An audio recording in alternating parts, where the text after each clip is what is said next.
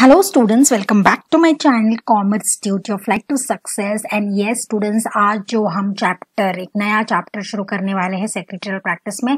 yes it's a very simple all about letters and correspondence with members chapter itself is correspondence with members uh, students आज जो topic हम cover करेंगे definitely that will be precautions to be taken by the secretary while corresponding with members Okay, so students in the previous video, I think we have explanations done uh, with the uh, chapter number 5 and some of the question answers also we have solved. Still in the process, those videos will get uploaded very soon. Uh, but with this chapter students let us begin without delaying much new people to my channel kindly like subscribe and share so that it is useful to others ठीक है on that beautiful note children चलिए जानते हैं correspondence with members और क्या है इनके precautions ठीक है first of all students introduction की अगर बात हो रही है so I would like to tell you definitely here we are talking about you know secretary obviously she has to correspond with the members है ना? So basically we know the fact that share holders are the owners who contribute capital for the company हम जब हम मतलब company के point of view से बात हो रही है कि जब कंपनी अपने शेयर्स uh, इशू करती है डेफिनेटली पब्लिक को या वो पर्टिकुलर पब्लिक या पर्सन जब शेयर खरीद लेता है तो वो शेयर होल्डर हो जाता है। So definitely that's why share holders are the owners को ओनर्स बोल सकते हो, जो कैपिटल कंट्रीब्यूट करता है कंपनी के लिए राइट लेकिन as a chief executive officer of the company secretary has some important role to play क्योंकि सेक्रेटरी ही एक ऐसा बंदा है या बंदी है जो लोग मेंबर्स के साथ इन कांटेक्ट आ जाती है through correspondence Okay, definitely the secretary uh, acts as a link between the directors and the members और ये हमने before भी you know discuss किया हुआ है she acts as a link between both of them right uh, secretary has to communicate the decisions of the management and other information to members जो भी बातचीत होती है management will not talk to the entire uh, members at once right वो secretary को इसीलिए चुनते हैं कि secretary will act as a link between the management and the members. So definitely uh, secretary has to communicate whatever discussions she has done with the management और जो भी कुछ भी इंफॉर्मेशन है जो मैनेजमेंट uh, सबको देना चाहती है तो पहले तो वो सेक्रेटरी के पास जाता है and then secretary takes care that all the information whatever has been communicated with the management वो मेंबर्स के थ्रू जाए थ्रू कॉरेस्पॉन्डेंस ठीक है? Correspondence is one of the important function students हमने जब सेक्रेटरी के फ़ंक्शंस भी देखे थे तो डेफिनेटली कॉरेस्पॉन्डेंस अरेंजिंग मीटिंग्स यही ज़्यादा हाईलाइट हुए थे isn't it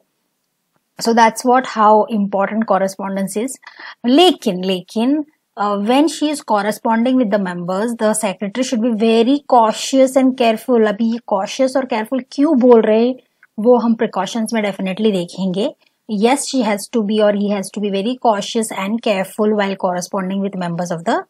company so कौन से precautions है जो उनको लेने हैं while corresponding with the members students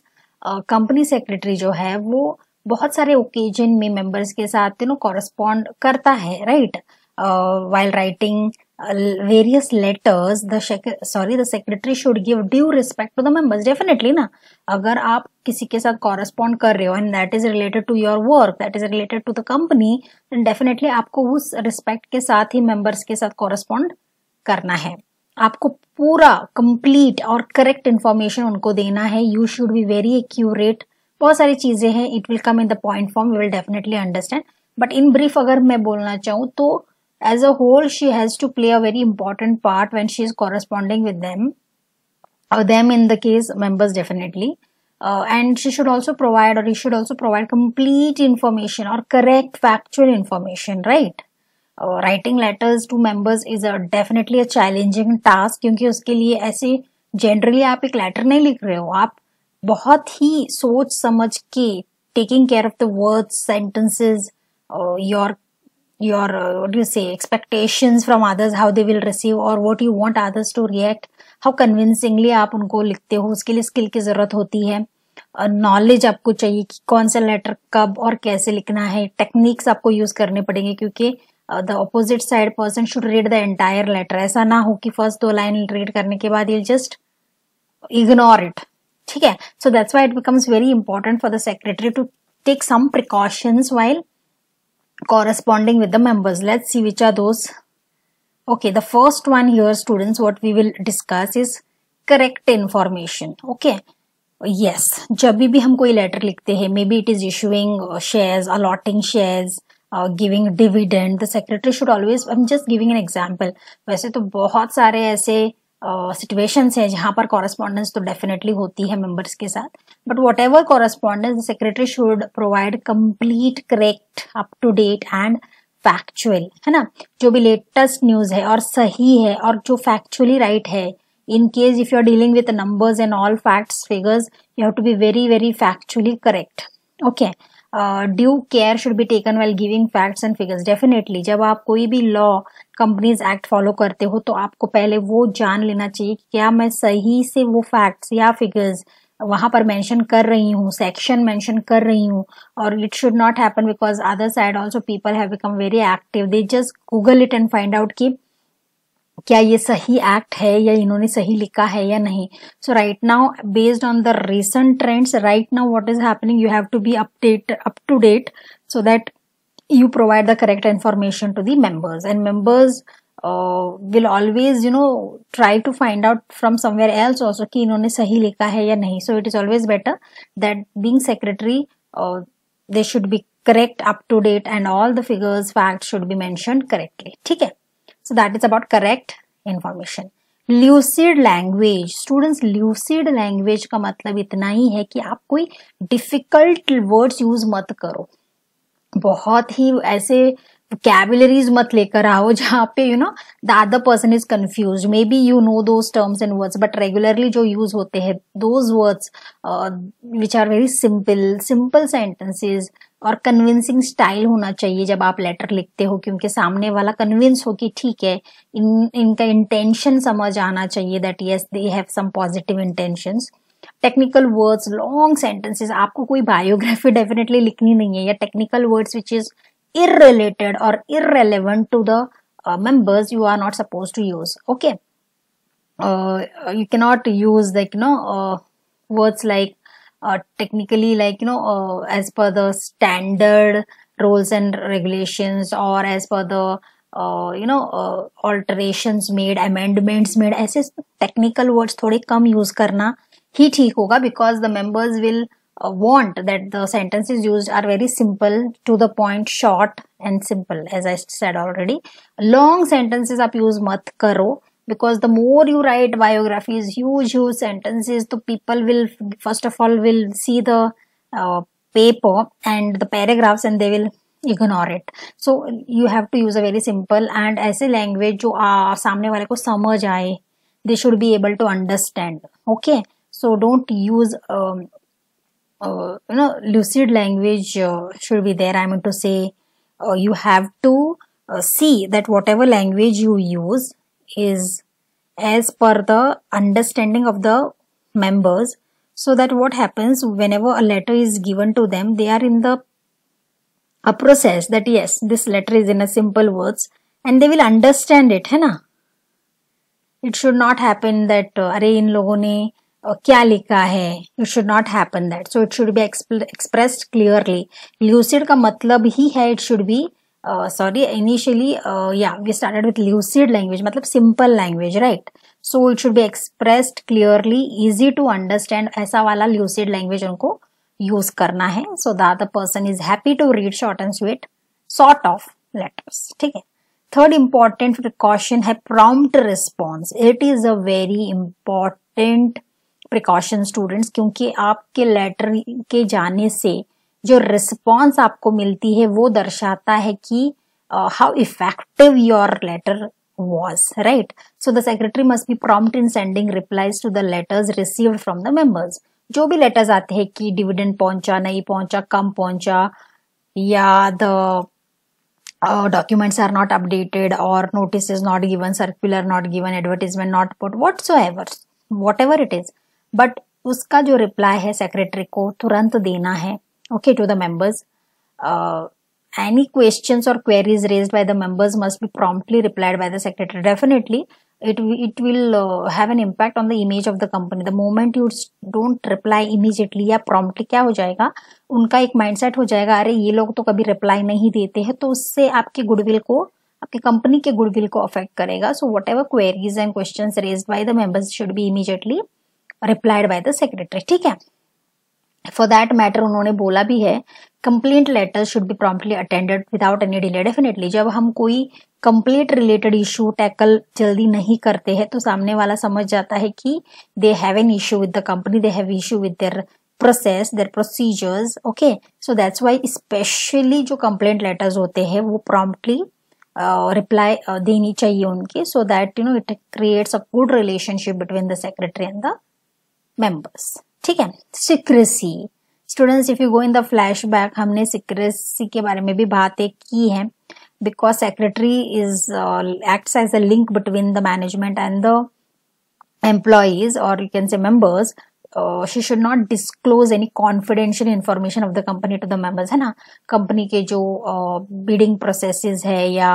financial aspects है या बैलेंस शीट के जो भी इम्पोर्टेंट uh, फैक्टर्स है, उनको डिस्क्लोज बिल्कुल भी नहीं करना चाहिए मेंबर्स को। अपकमिंग डिसीजंस जो है, जो मॉनिटरी वैल्यूज़ जो है okay she should take care about it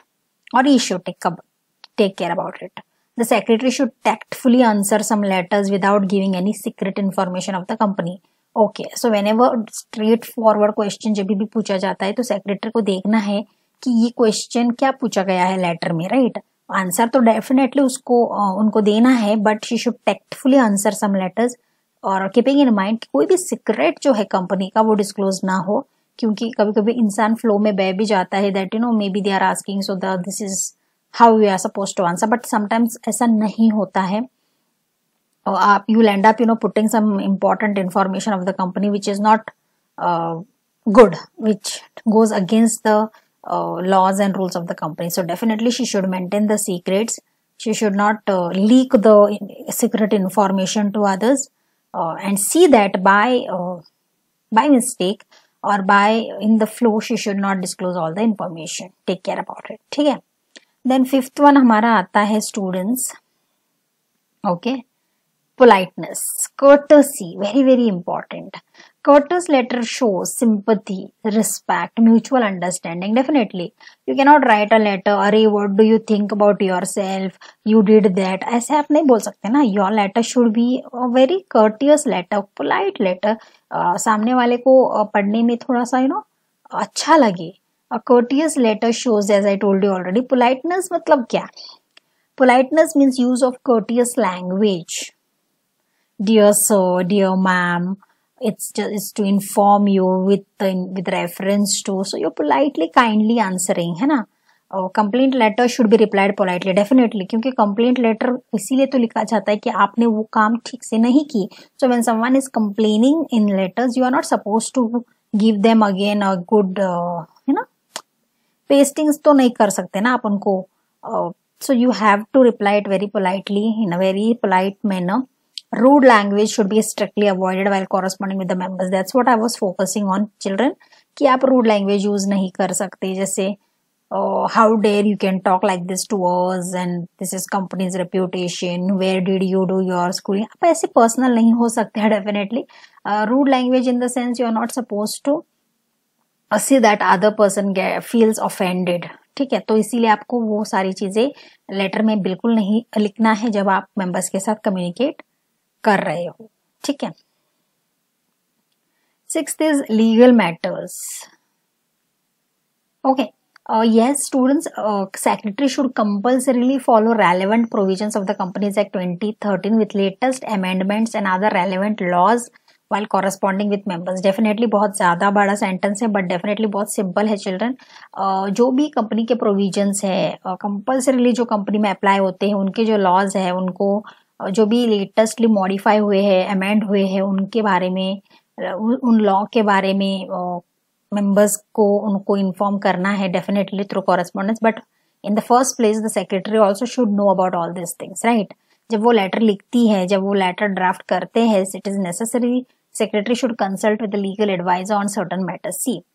there are certain matters जो बहुत ही लीगली uh, या लॉफुल होते हैं तो अगर आपके समझ के uh, थोड़े परे है तो definitely you have to appoint a legal adviser so that he will guide the secretary on the terms and conditions, how the letter should be drafted. Because sometimes it does happen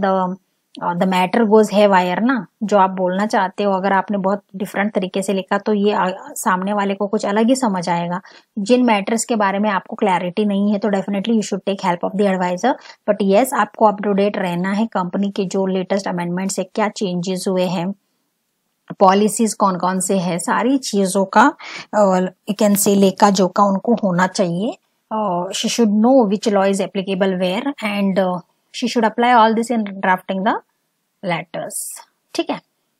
next है हमारा consideration the writer should due the importance and consideration to the reader and consider the problems of the members definitely जब आप कोई letter लिख रहे हो तो आपको मेंबर uh, के हिसाब से लिखना है उनको कंसिडरेशन देना है उनकी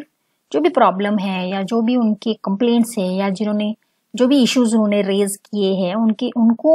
इम्पोर्टेंस उनको कंसिडरेशन देते हुए ही आपको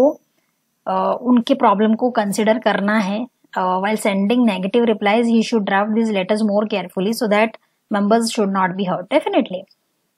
जब आप कोई नेगेटिव रिप्लाई दे रहे हो मतलब किसी चीज़ के बारे में आप नो बोल रहे हो और आपको नहीं देना है या नहीं करना है so definitely you should be very very careful especially the secretary na uh, so that you know members should not get hurt because sometimes people who get hurt may take any legal action also so you should see that आप उनको hurt ना करें उनके sentiment उनके emotions को hurt ना करें because yes business is a monetary gain लेकिन इमोशनली uh, रिलेशंस या पब्लिक रिलेशंस भी होते हैं secretary should make the member feel the management honestly regrets refusal Yes आपको उनको दिलासा भी देना पड़ेगा कि आपको हमने ना कहा है या आपको हमने शेयर्स नहीं दिए हैं रिफ्यूजल किया है तो उसको भी आप थोड़ा हॉनेस्टली तो क्लैरिटी के साथ उनको कंसिडर करके बता के सॉल्व कर लेना चाहिए। So you should definitely give consideration to the members so that उनकी जो रिलेशन है वो सोर ना हो अच्छे चले। Okay maybe this time they have not got it next time definitely they will get in touch and give them also तब रिफ्यूज ना करे। So that's why here they should give a little bit consideration to the members.